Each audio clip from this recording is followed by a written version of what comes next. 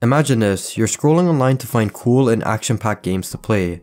You stumble upon on Amazon to find some used games, but while looking through the long list of games, you find one named Play. And no, this isn't a joke.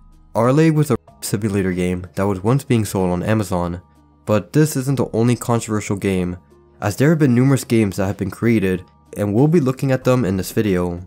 Let's begin with Border Patrol.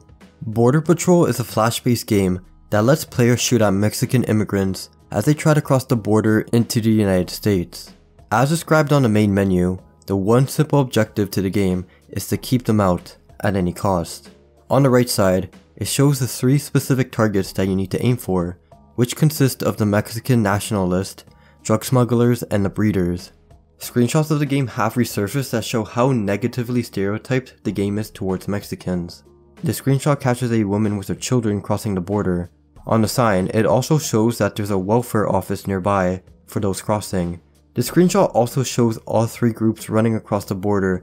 Sadly, this isn't the first and only time a racist stereotypical game has become well known. Other games such as Ethnic Cleansing and Spanish for Everyone were also pretty bad. 177 is a game where the player takes the role of a who is chasing a young girl. There are small obstacles such as dogs and hedges to stop the man, but he can also throw rocks at the girl to slow her down. The player loses if she manages to arrive at her home. Now, if you catch her, the man you're playing as will her, but the way the game is designed, there's alternate endings. The player has to press multiple buttons in a sequence to satisfy her. If the man gives her pleasure, he ends up marrying her, but if he doesn't, he ends up getting arrested. But yeah, that's pretty much the entirety of the game.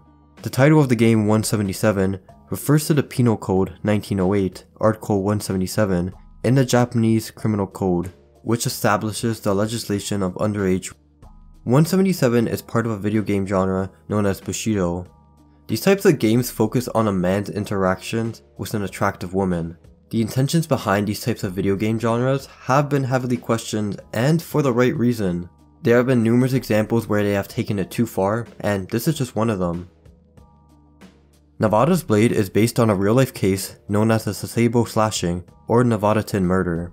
The case involved the murder of a 12-year-old Japanese schoolgirl, Satomi Mitarai, by another classmate who was never identified because of her young age. However, it was later identified that the girl's actual name was Natsumi Tsuji. On June 1, 2004, Natsumi Tsuji stabbed Satomi in an empty classroom during the lunch hour at a Kobuko Elementary School in Sasebo, Nagasaki. Natsumi explained that she managed to get the girl in the room by simply telling her to follow her. In the classroom, she told her to take a seat while she was closing the curtains. Unexpectedly, she would then stab her numerous times with a box cutter knife. The teacher in the classroom noticed that both girls were missing at this point. Natsumi would eventually make her way back to the classroom while covered in blood. When questioned on what happened, the girl explained that it wasn't her blood. Putting the pieces together, the teacher would find Satomi in an empty classroom while laying lifeless on the ground. When Natsumi was brought to the police, she would explain her motives. Despite them being close friends, they had problems before the incident. According to Natsumi, Satomi had made rude comments and would bully her online. Eventually, she snapped and made a plan on how she would murder her. A year after the case, a Japanese journalist named Atsuko Kusanagi would document the case and bring up accusations that Natsumi's father abused her, but this was never fully proven, and even if it was proven, it wouldn't be a good reason on why she murdered the girl in the first place. She was sentenced to a total of 4 years of involuntary commitment and would be released back to the general population in May 2008. Till this day, her current whereabouts are unknown. Going back to the game, it's a simple fighting game that takes place in a classroom with both girls. The player plays the role of Natsumi and involves you having to defeat Satomi using the box cutter knife. In this case, Satomi can attack back and is completely harmless to you. I'll have to blur basically the entire footage, but to make things even worse, both of the girls' faces were used on the characters. That's essentially the entire game, and it's basically just for shock value. Rlay was a Japanese game that was released in 2006 by the company Illusion. The game revolves around you playing the role of a male character, named Masaya. The objective of the game is to stalk and a mother and her two daughters, who happen to be 12 and 17 years old. At the start of the game, you're told that Masaya has a history of previous arrests and that his father is a well-known politician. One day at the subway train, Masaya is caught touching a woman and eventually gets arrested. The next day, both daughters help their mothers try to locate her wallet that she lost around the nearby area. While this is happening, one of the daughters talk about how they helped with the arrest of a man yesterday and how he did a terrible thing to her. Little did they know, Masaya was eavesdropping the entire time while he was waiting outside his house. Anyways, it should be mentioned that while he was listening to them, he learned that the mother is a widow. Because of this, he plans to take revenge on all of them, starting with the youngest daughter. After a while, he follows Manaka to the subway station. While waiting on a train, he touches her numerous times. When they arrive at the first stop, he kidnaps her and takes her to the public bathroom, where he does very inappropriate and bad things that I won't mention. The next day, he would follow the mother Yuko to the city park and do undescribable things. After every encounter, Masaya takes a picture of his victims, as it's believed as a way to traumatize them even more, knowing that they've been caught on camera during their most vulnerable times. But we would later learn that the pictures would be shown to the last daughter. Once again, he would capture the last daughter and take her to a family owned hotel. The main story ends with Masaya keeping them all captive in a secret room and using them for his pleasure. There are two other endings known as the black and red ending, which involves Masaya dying in both of them. Now as mentioned before, the game was released in 2006, and with a plot as disturbing as this, you expected to receive major backlash right away. What turns out, it took 3 years until 2009 for Arle to finally receive a bad reputation. Just to be clear, I'm not saying that the game didn't receive negative criticism while it was only available in Japan. The main reason it received attention in 2009 was because it started to be sold on Amazon, and this was especially weird because it was never officially distributed nor supported outside of Japan. Arle would start to make news headlines, and this resulted in Amazon eventually banning the game. Till this day, many countries such as Argentina and Australia have also banned the distribution of the game. But despite all of the hatred towards Arle, there was a small group of people who thought the game was great. There have been articles written that have defended the game, with the main argument stating that is considered a lesser crime than murder, yet there are thousands of legal video games in which the goal is to kill enemies. Alright, so that just made no sense. Illusion eventually came forward with their take on the entire situation, since during the time, there was a campaign launched by Equality Now a New York based company that was against simulator games in Japan.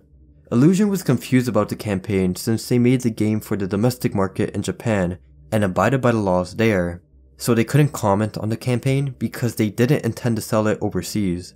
Illusion ended up making a sequel to the game with the title Real Play in March 2014. From what I read online, it had some of the same aspects of Arle, but not as extreme. Twisted Metal Black is a combat game that's part of the Twisted Metal series. What separated Twisted Metal Black from the other games was how controversial some of the cutscenes were. The game was released back in 2001, and brutal video games were essentially unheard of, well at least to the standards of 2001.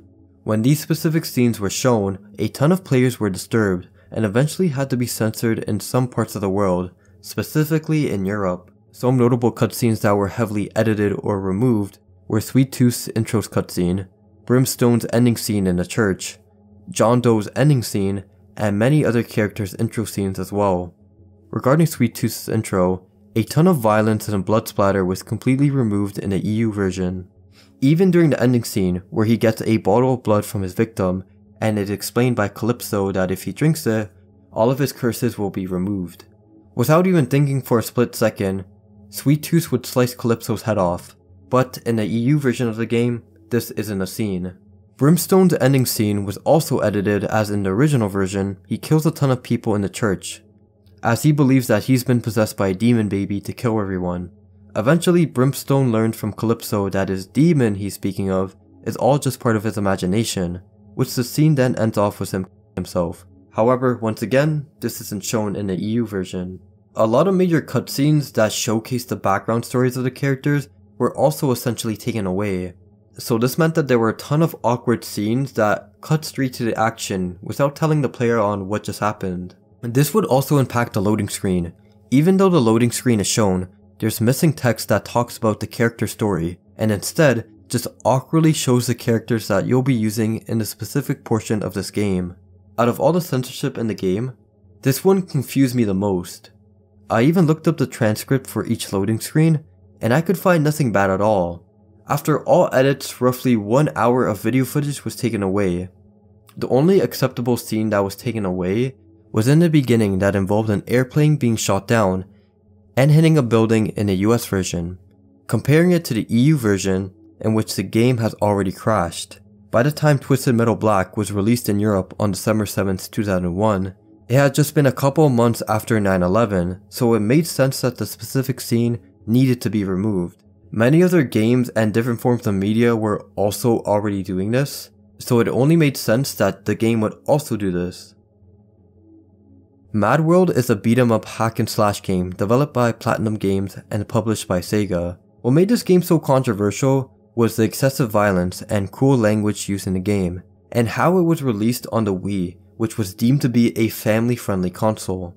The two main features that stood out in Mad World was its animation style, which was primarily black and white in visuals, except whenever there was blood.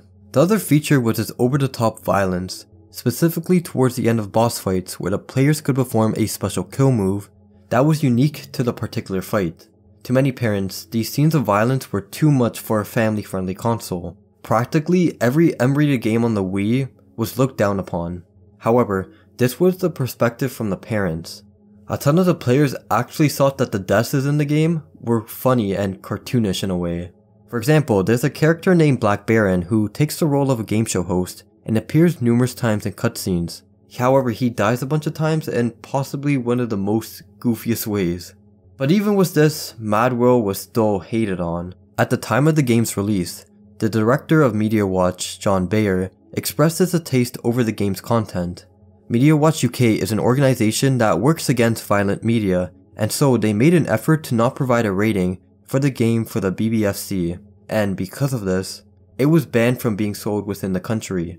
John Beyer stated that they needed to ensure that modern and civilized values take priority rather than killing and maiming people. And this is what I never understood on why people think that violent games lead to violent actions. It's even worse when a small extreme example that rarely happens occurs, and it's often generalized that if one person had committed such a horrible crime, that means a whole ton of other people will. Let me know what you guys think about this in the comments.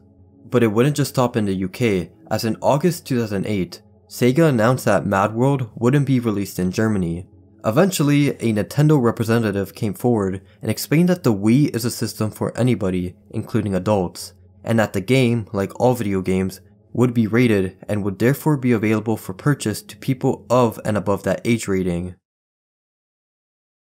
And that's the end of today's video. If you made it to the end, thank you so much for watching and showing support. If you want me to cover certain topics or even make a part 2 for this video, just let me know in the comments down below. As always, thank you for watching, showing support, and for sticking with the channel. The channel's 3 year anniversary is almost here, and I'm truly grateful for the audience I have right now. But yeah, that's the end of today's video. I hope you guys have a great rest of your day, and I'll see you next time.